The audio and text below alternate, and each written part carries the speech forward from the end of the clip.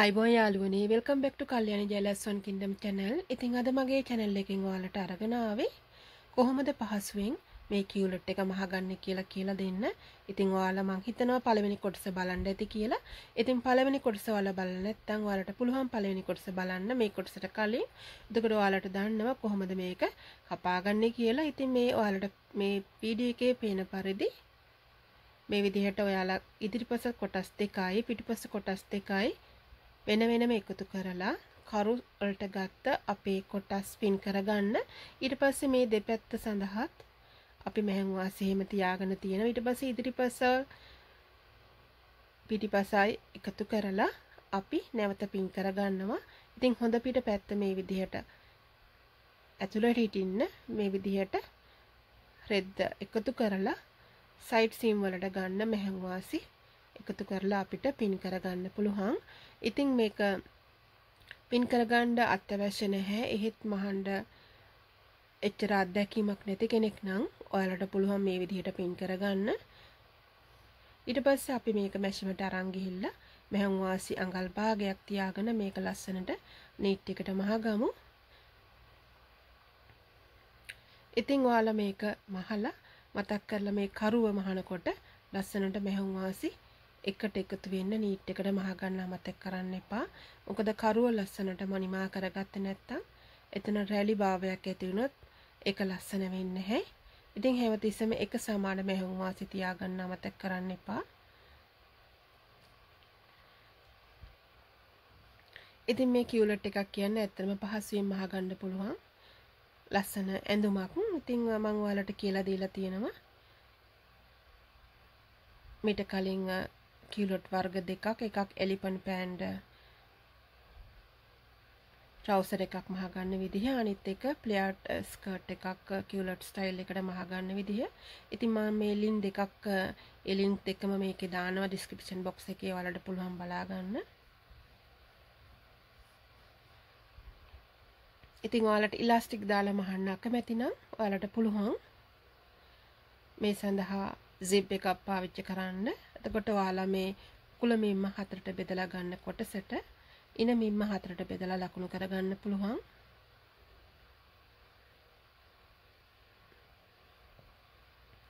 ඒත් එකම මගේ මේ ස්කර්ට් එකට මම පොඩි පොකට් එකක් දානවා. ඉතින් ඒක දාන්න අත්‍යවශ්‍ය නැහැ. ඔයාලා කැමති නැත්නම් ඔයාලට පුළුවන් ඒක දාන්න නැතුව ඉන්න.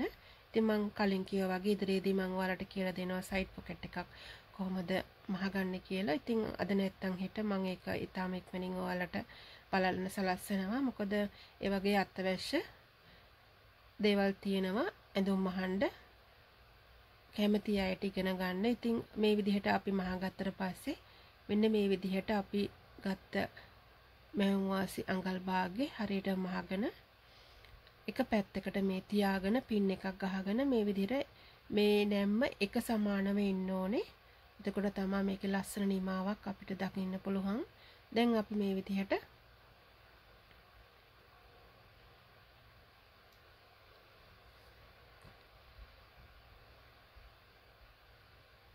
මේක මහගමු.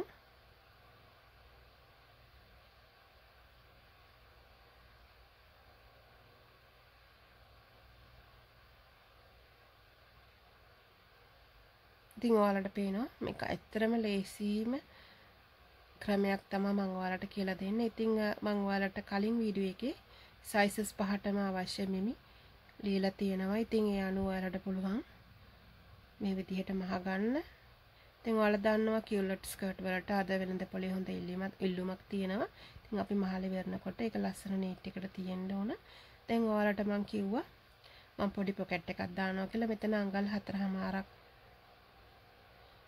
පල්ලට මේ විදිහට එක පැත්තක පල්ල අඟල හතර හමාරයි ඉවසේ මේ අඟල් තුනක මේ විදිර කර්ව් වෙන්න හැඩේ කපාගෙන අඟල් දහයක් වගේ දිග රෙදි කැල්ලත් තමයි මම මෙතන ගන්නෙ.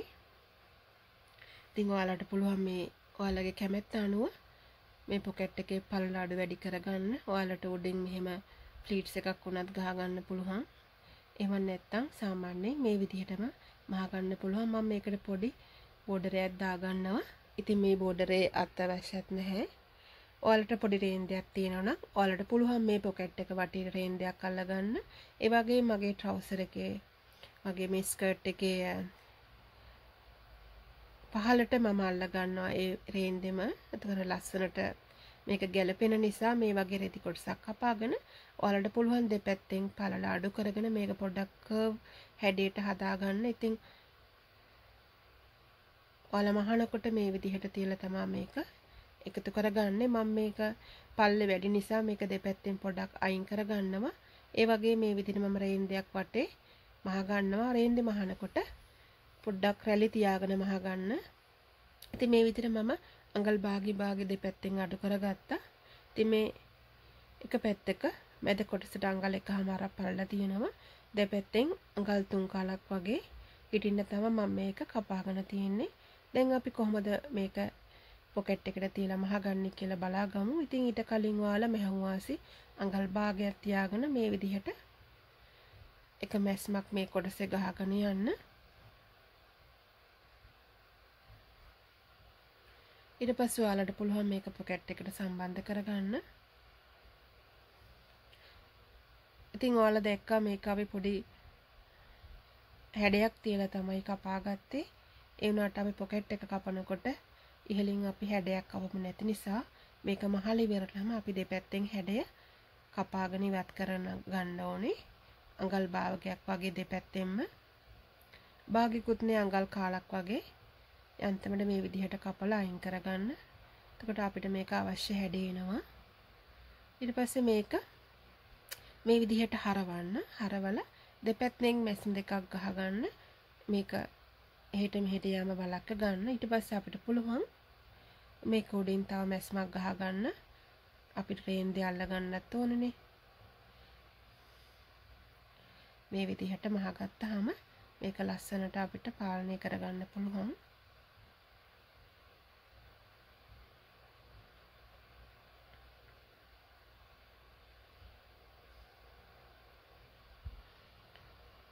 ඉතින් මේ වගේ ලස්සන පොකට් එකක් පොඩි දරුවෙක්ගේ කිව්ලට් එකට තමයි ගොඩාක් ගැලපෙන්නේ. ඒත් ඉතින් පොකට් එකක් දාන්න වයිස් ભેදයක් ඕනේ නැහැ. මං හිතුවා මේ කිව්ලට් එකටත් මේක අල්ලගන්න ඕනේ කියලා. ඉතින් ඒ නිසා තමයි මම මේක දැම්මේ. ඉතින් ඔයාලට විශේෂයෙන් කියලා දෙන්න ඕන නිසා තමයි මම මේ විදිහට කරලා පෙන්වන්නේ. ඉතින් ඔයාලා අකමැති නම් ඒක දාන්න අවශ්‍ය නැහැ. ඉතින් ඔයාලට පේනවා අඟලක් විතර ගැබ් එක තියාගෙන මම මේ විතර රැලි තියාගන්නවා.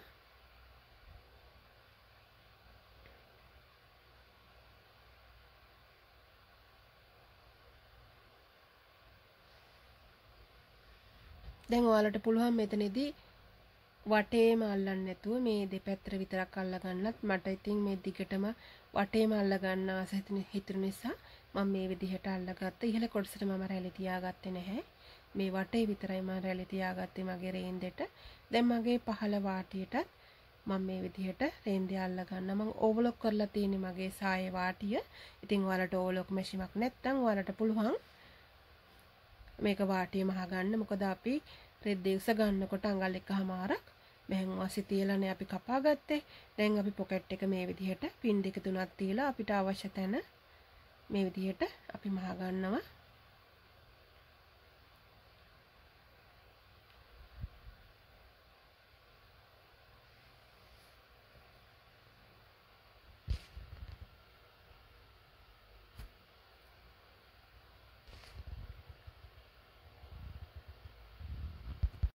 ඉතින් මේ විදිහට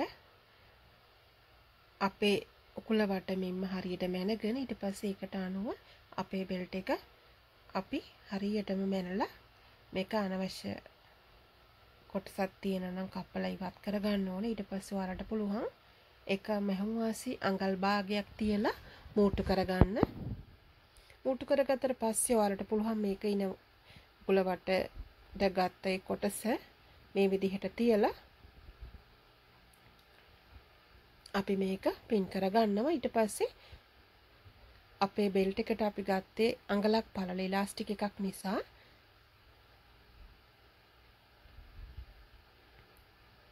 අපි අඟල් එකයි කාලක් පල්ලට හිටින්න අපේ බෙල්ට් එක අපි ලස්සනට මහගන්න ඕනේ ඉතින් ඔයාලට ඕන්නම් ඔයාලක මේ බෙල්ට් එක මහගන්නකොට කරුණාකර පටියක් වුණත් පාවිච්චි කරන්න පුළුවන්. ඒත් මම පාවිච්චි කරුවේ කරුණාකර පටියක් නෙමෙයි. මොකද ඔයාලට මතකයිනේ මෙතන අපිට ඉනට පොඩි හැඩයක් එනවා. පිටිපස්ස කොටසේ ඉන අපි අඟලක් උස්සලා තමයි කැපුවේ. ඉදිරිපස්ස කොටස කපනකොට අපි අඟලක් පහලට කැපුවේ.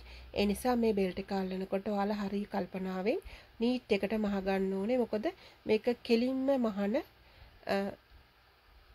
බෙල්ට් එකක් නෙමේ නිසා මේක පොඩි ඇදයක් හිටිනවා. ඒ අපි එහෙම කරලා තියෙන්නේ මේක අපේ ඉනට ලස්සනට හිටින්නට. ඉතින් ඒ වගේම මම ඔයාලට කියලා දුන්නා අපේ ශරීරයේ එක සමාන නැති නිසා ඉදිරිපස සහ පිටිපස ඉතින් එහෙම මහන නිසා තමයි ඒ විදිහට ඔයාලට පොඩක් අමාරුයි කියලා හිතෙන්නේ. එහෙම අමාරුව ගතියක් නැහැ. ඔයාලා එක පින් කරලා මහගත්තාම ලස්සනට කෙලින් හිටිනවා. ඉතින් ඔයාලට අමාරුයි කියලා හිතෙනවා නම් ඔයාලට කර්ණාකාර පටියක් බෙල්ට් එක සඳහා පාවිච්චි කරන්න පුළුවන්. මේ විදියට අවශ්‍ය ඉලාස්ටික් ප්‍රමාණය ඔයාලා වෙන් කරගන්න. ඉතින් ඔයාලගේ ඉන වටේ මිම්ම ඉලාස්ටික් ප්‍රමාණය තීරණය කරගන්න පුළුවන් සමහර වෙලාවට ඉනට වඩා අඟල් හතරක් විතර අඩු කරලා ඉලාස්ටික් එක දාන්න පුළුවන්. එහෙමත් නැත්නම් අපි මේ උකුල මිම්ම අපි ගත්ත නිසා අපි ඉහළ කොටසට ඔයාලට පුළුවන් ඔයාලගේ ඉන මිම්මම ඉලාස්ටික් එකේ දිග ඉන මිම්ම ප්‍රමාණයටම ගන්න. ඉතින් මේ විදිහට පින් කරගන්න. අඟල් එකයි කාලක් වගේ තියාගන්න ඕනේ අපි මේක මහනකොට. මේ බෙල්ට් එකේ පළල. ඉතින් මේ විදිහට මම පින් කරගෙන තියෙන්නේ. දැන් ඔයාලා අඟල් එකහමාරක් විතර හිදසක් තියලා මේක මහ ගන්න ඕනේ. මේ ඉලාස්ටික් එක දාන්න පුළුවන් විදිහට. ඔයාලට පේනවා මේ ඉලාස්ටික් එක අඟලක් පල්ලට තිබුණාට මම මේ බෙල්ට් එක අඟල් එකයි කාලක් පල්ලට තමයි මෙහෙම නමාගෙන පින් කරලා තියෙන්නේ ඉතින් ඒ සඳහා අපි හැමතිස්සෙම අපේ බෙල්ට් එක රෙද්ද තීරණය කරනකොට රෙද්දේ පළල අඟල් හතරක් විතර පල්ලට ගන්න ඕනේ. ඉතින් ඉලාස්ටික් එක අඟල් 3ක් නම් රෙද්දේ පළල අඟල් හතරක් විදිහට ගන්න. එතකොට අපිට ලස්සනට නීට් කරගන්න පුළුවන්. ඉලාස්ටික් එක අඟල් දෙකක් පල්ල දානවනම් ඔයාලා රෙද්දේ පළල අඟල් 6ක් ගන්න හැමතිස්සෙම අඟල් හතරක් එකතු කරගන්න රෙද්දේ පල්ල සඳහා වැඩිපුර. ඒ කියන්නේ ඉලාස්ටික් එකේ පල්ලට ඔයාලා තව අඟල් හතරක් එකතු කරලා තමයි ඔයාලා මේ සඳහා ගන්න ඉන සඳහා ගන්න ඒ බෙල්ට් එකේ පටිය පල්ල පළල තීරණය කරන්න ඕනේ. එතකොට අපිට මේක ලස්සනට නිමා කරගන්න පුළුවන්. දැන් ඔයාලට පේනවා මම මේක උඩින් තමයි මහන්නේ. එතකොට අපිට ලස්සනට මේක මැස්ම ගානට මහ ගන්න පුළුවන්. මොකද අපි පින් කරලානේ තියෙන්නේ යටින්. මේ පින් ගලව ගනිමින් තමයි මම මේ විදිහට මහගන්නේ.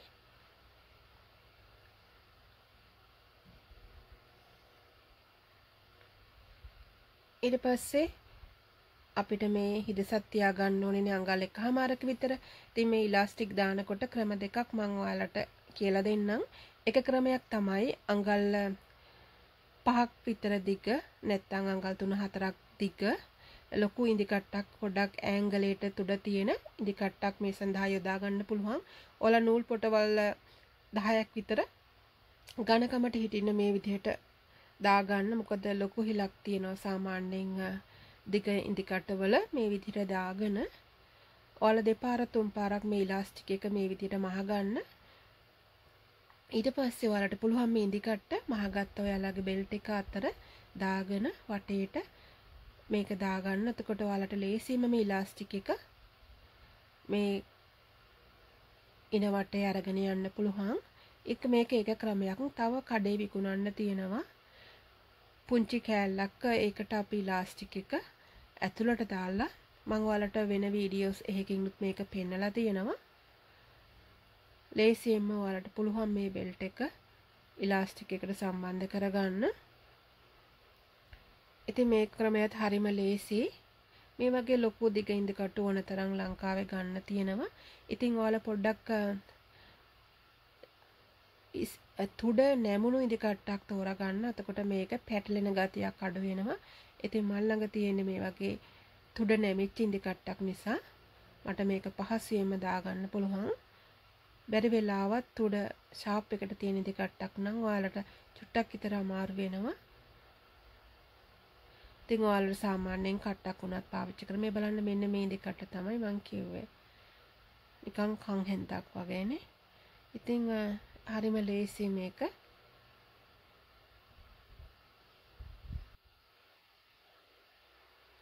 ඉතින් තව ක්‍රමයක් තමයි ඉතින් මේ මම ඔයාලට ඒ කැලලක් පෙන්වන්නම්. ඉතින් මේ විදිහට ඉලාස්ටික් එක හොඳින් එළියට අරගෙන මහෙන් වාසි අඟල් භාගයක් වගේ තියලා හොඳින් මහගන්න. මේ තමයි මම කිව්ව අනිත් කොටස. ඉතින් මේ කොටස මේ මේ ඉක්විප්මන්ට් එකත් හරිම ලේසි. මේ විදිහට දාලා මේක ලොක් කරගන්න. මේක ඊට පස්සේ ඔයාලට පහසුවෙන්ම මේ ඉලාස්ටික් එක දාගන්න පුළුවන්. ඉතින් මම මේ ඉලාස්ටික් එක කලින් දාගත්තනේ. ඉතින් දැන් අපි මේක මහගමු. මේ විදිහට මෑන් වාසි අඟල් භාගයක් වගේ තියලා මහලා නැවතත් මේක දිගෑරලා තව මැස්මක් ගහගන්න. එතකොට මේක හොඳට ෆ්ලැට් එකට තියෙනවා.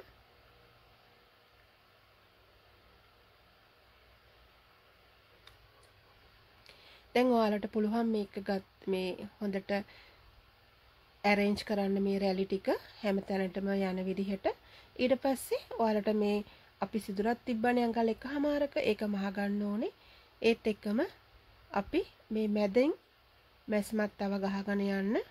එතකොට ලස්සනට මේක හේත් වෙලා හිටිනවා. ඉතින් මේ මැදින් මහන එක අත්‍යවශ්‍ය නැහැ. ඒත් ඔයාලා කැමති නම් තව මැස්මක් මැදින් ගහන්න. ගහනකොට මේක රෙද්ද අදිමින් තමයි ගහන්න ඕනේ. මැද රැලි හිටින් නැතුව යන්න.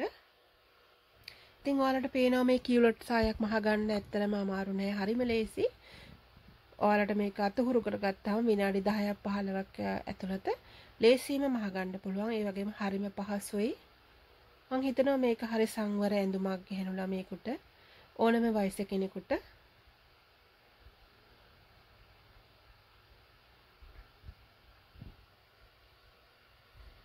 ඒ වගේම මං ඔයාලට කලිනුත් කියලා තියෙනවා මේ වගේ ඇඳුම් වලට හොඳ ඉල්ලුමක් තියෙනවා වෙළඳපොලේ. ඉතින් ඔයාලට පුළුවන් ස්වයං රැකියාවක් විදිහටත් මේක පටන් ගන්න. ඉතින් මේ දවස්වල නම් ඒ වගේ වැඩ කරන්න අමාරුයි කියලා මම දන්නවා. ඒත් ඉගෙන ගත්ත දෙයක් අහ කියන්න ඇති නිසා ඔයාලට පුළුවන් ඉගෙනගෙන තියාගන්න ඉදිරියේදී ඔයාලට ඒ සඳහා අවස්ථාව ආවහම ප්‍රයෝජනෙට ගන්න. ඉතින් මේ බලන්න අපි මහගත්ත කියුලට් සාය. ඉතින් ඔයාලට පේන එක ලස්සනට නීට් එකට තියෙනවා. ඉතින් මම විශ්වාස කරනවා ඔයාලා යම් දැනුමක් මේ වීඩියෝ එක තුලින් ලබා ගන්නට කියලා. ඉතින් ඔයාලා මගේ වීඩියෝ එකට කැමති නම් ලයික් දාන්න ෂෙයා කරන්න අමතක කරන්න එපා. ඉතින් මං ඉදිරියේදීත් ඔයාලට ගොඩාක් වටිනා වීඩියෝස් අරන් එන්න බලාපොරොත්තු වෙමින් ඉන්නවා. ඉතින් ලයික් දාන්න ෂෙයා කරන්න ඒ වගේම මහන්න මහලා මං ඉදිරියේදී ඔයාලට පේජ් එකක් ඇරලා අවස්ථාව දෙන ඔයාලගේ නිර්මාණ ඉදිරිපත් කරන්න. ඉතින් ඔයාලට පුළුවන් එතකොට ඔයාලගේ ලස්සන නිර්මාණය සඳහා යොමු කරන්න. ඉතින් යාළුවනේ ඔයාලා හැම දිනාටම ගොඩක් ස්තුතියි පරිස්සමෙන් ඉන්න. ඉතින් subscribe කරපු ඔයාලටත් ගොඩාක් ස්තුතියි තවදුරටත් මාත් එක්ක රැඳී ඉන්න.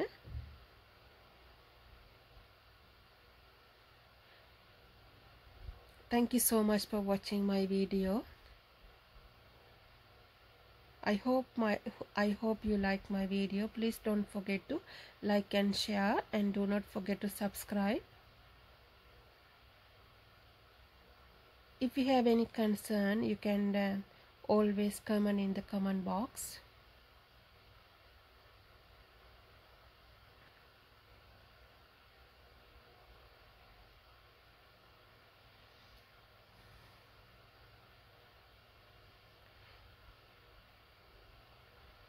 ඉතින් යාළුවනේ මං ගිහින් එන්නම්. හමුවෙමු ඊළඟ වීඩියෝ එකකින් ඔයාලා හැම දිනාටම සුබ දවසක්. අයිබෝවන්.